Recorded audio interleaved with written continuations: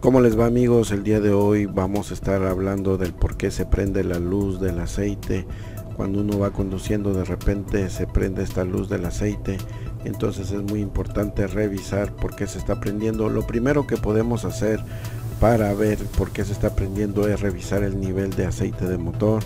Luego también revisar si el sensor está trabajando correctamente.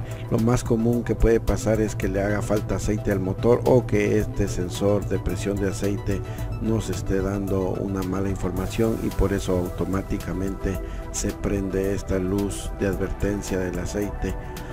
Lo otro que podría estar pasando es que hay baja presión de aceite y esto podría deberse a que la bomba de aceite ya está defectuosa y se necesitará cambiar. Eso podría ser lo más grave si es la bomba de aceite la que se necesita reemplazar y también sería lo más caro para poder arreglar. Usualmente las dos causas principales por la cual se prende esta luz del aceite es porque le falta un poco de aceite al motor o porque el sensor está mandando mala información entonces eso provoca que inmediatamente se prenda esta luz. Entonces lo primero que se debe de hacer es revisar que el motor tenga el nivel correcto de aceite y también asegurarnos que el sensor esté mandando la información correcta.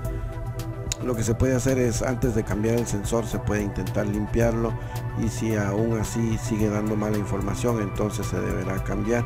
También se pueden hacer pruebas con el multímetro hay videos donde se muestra cómo probar el sensor de presión de aceite para estar seguro si se debe cambiar o no y de esa manera no gastar innecesariamente. Por último, si el nivel de aceite está correcto en el motor y también el sensor está bien, entonces se llegaría a la conclusión que lo que estaría mal sería la bomba de aceite y se debe reemplazar.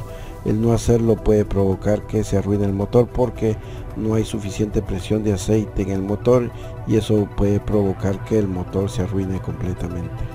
Ok amigos, eso ha sido todo. Espero que el video les sea de utilidad. Como siempre les invito a que comenten, a que compartan el video, a que le den like, a que se suscriban y nos vemos hasta la próxima.